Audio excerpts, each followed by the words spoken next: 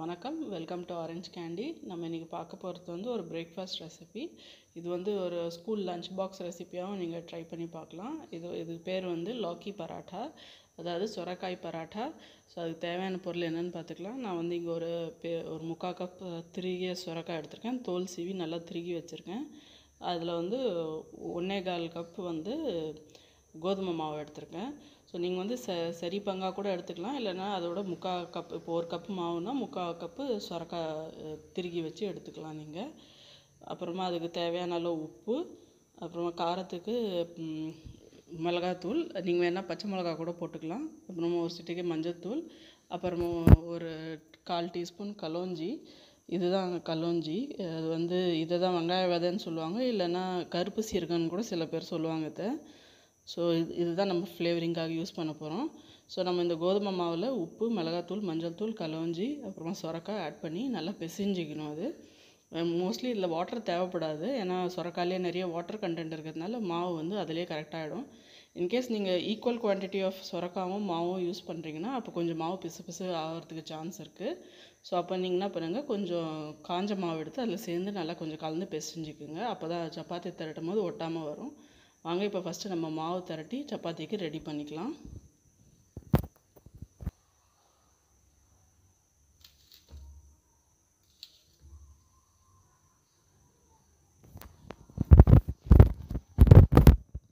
இப்போ இதெல்லாம் first try ஐட்டம்ஸ்லாம் ஃபஸ்ட்டு கலந்து மாவில் பெசரிக்கலாம். அப்போ தான் ஈக்குவலாக டிஸ்ட்ரிபியூட் ஆகும். ஏன்னா அப்புறமா சுரக்கா போட்டுவிட்டு அது அங்கங்கே நின்றுடும் ஸோ ஃபஸ்ட்டு ட்ரை ஆகிற மசாலா உப்பு அதெல்லாம் வந்து நம்ம ஒன்றாவே சேர்த்து இதில் வந்து பிசைஞ்சிக்கலாம் நீங்கள் வேணால் இதில் கால் டீஸ்பூன் கரம் மசாலா கூட சேர்த்துக்கலாம். டேஸ்ட்டாக இருக்கும்.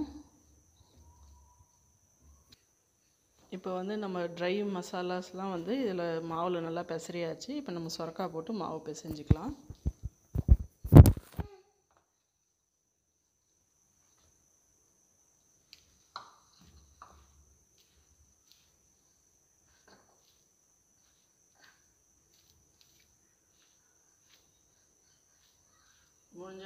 சுரக்காவை கொஞ்சம் ஃபைன் கிரேட் பண்ணிக்கோங்க. என் கிரேட்டரில் வந்து கொஞ்சம் பெரிய பல்லு தான் இருக்குது அதனால் வந்து இது கொஞ்சம் பெருசாக இருக்குது ஃபைன் கிரேட் பண்ணிட்டீங்கன்னா உங்களுக்கு சப்பாத்தியில் எதுவுமே தென்படாது.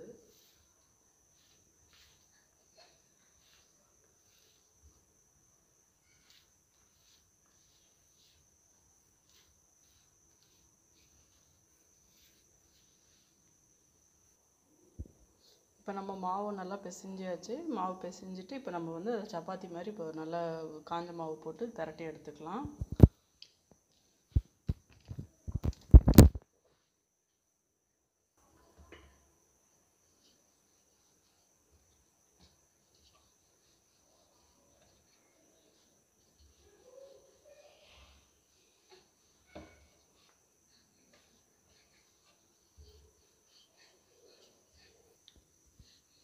இப்போ நல்லா சப்பாத்தி மாதிரி திரட்டியாச்சு இப்போ நம்ம ஒரு சூடான தவாவில் எண்ணெய் விட்டு சுட்டு எடுத்துக்கலாம் சப்பாத்தி மாதிரி.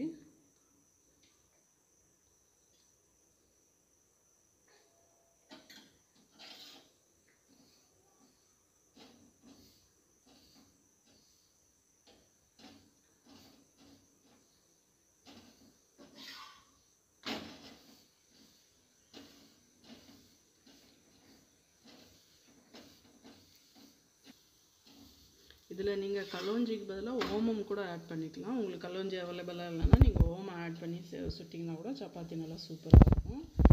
சுரக்காய் சப்பாத்தி வந்து ரொம்ப ஹெல்த்தியான சப்பாத்தி. ஏன்னா சுரக்காயில் நிறைய வந்து நார் சத்து அப்புறம் அந்த நீர் சத்து எல்லாம் இருக்குது ஸோ இது வந்து டைஜஷனுக்கு ரொம்ப நல்லது. ஃபைபர் இருக்கிறதுனால வயிறு சுத்தம் பண்ணும். ஃபேஸில் பிம்பிள்ஸ்லாம் நல்லா கிளியர் பண்ணும். அடிக்கடி சுரக்காய் எடுத்துக்கலாம் ஸோ அதனால சுரக்காய் ஜூஸு சுரக்காய் பொரியல் அது மாதிரிலாம் நிறைய சாப்பிட்ணுன்னு சொல்லுவாங்க. அதனால் ஸ்கின் வந்து நல்லா கிளியராக இருக்கும். ஸோ அது மாதிரி போர் அடித்தா நீங்கள் வந்து இந்த மாதிரி ச- சுரக்காய் சப்பாத்தி லோக்கி சப்பு பரோட்டா அந்த சுட்டு சாப்பிட்லாம். இது நல்லா டேஸ்ட்டாக இருக்கும். இதை சுட்டு ரொம்ப நேரம் கழித்து கூட நல்லா சாஃப்டாக இருக்கும். ஸோ அதனால் நீங்கள் ஸ்கூல் பசங்களுக்கு வந்து லஞ்ச் பாக்ஸில் கொடுத்து அனுப்பலாம். காய் சாப்பிடாத பசங்களுக்கு நீங்கள் இந்த மாதிரி கொடுத்தீங்கன்னா கண்டிப்பாக சாப்பிடுவாங்க. ரொம்ப டேஸ்ட்டாக இருக்கும். இப்போ பாருங்கள் நம்மளுக்கு சூப்பராக டேஸ்டியான ஹெல்த்தியான லௌக்கி பராட்டா அதாவது சுரக்கா சொரக்காய் பராட்டா ரெடி ஆகிடுச்சி இது ரொம்ப நல்லா சாஃப்டாக இருக்கும் சாப்பிட்றதுக்கு. டயட் பண்ணுறவங்களுக்கும் இது நல்ல ஒரு ரெசிபி ஆனால் இது சாப்பிட்டா கொஞ்சம் ஃபில்லிங்காக இருக்கும் நல்லாவே.